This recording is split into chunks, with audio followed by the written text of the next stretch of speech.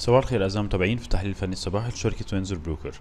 هيقدمه لكم كريم مجدي اليوم 25 أكتوبر 2019 وهنتكلم مع بعض في الفيديو بتاعنا عن أسعار الذهب. في بداية اليوم امبارح كان في تداولات عرضية طبعا لأسعار الذهب واختناق سعري نتيجة انخفاض دولار أمريكي وده دعم أسعار الذهب بشكل كبير. ومن ناحية تانية كان في ترقب من المستثمرين لطبعا قرار البري إكزيت أو خروج البريطاني من الاتحاد الأوروبي.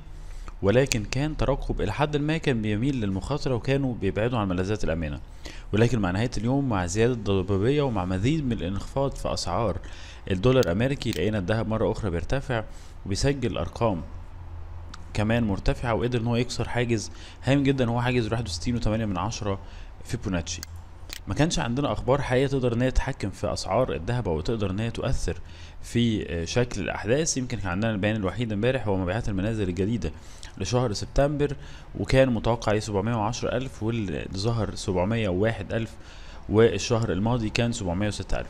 ولكن بيان مبيعات المنازل الجديدة مش هيأثر بشكل أو بآخر على أسعار الذهب.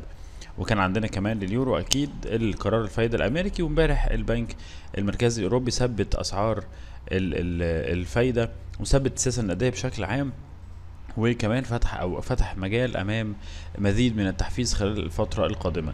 دي كانت أهم الأخبار خلونا ننتقل مع بعض ونشوف تحليلنا وتوقعنا لل chart. إيجابية زي ما قلت لحضراتكم في منتصف اليوم بعد ما انخفضت شهية المخاطرة بشكل كبير وقدر إن هو يكسر حاجز 61 و8 من عشرة فيبوناتشي ويحقق أعلى سعر ليه خلال الشهر الجاري أعلى ال 1500 وتلاتة أو بالتحديد عفوا خلال ال 15 يوم اللي فاتوا بكسر ال 1503 وبكسر ال 61 و8 من عشرة فيبوناتشي. أداء إيجابي زي ما إحنا شايفين مع بعض على مؤشر ال EMA أداء أداء إيجابي على مؤشر ال SAR على مؤشر ال stochastic ثبات أعلى المتوسطات السعرية.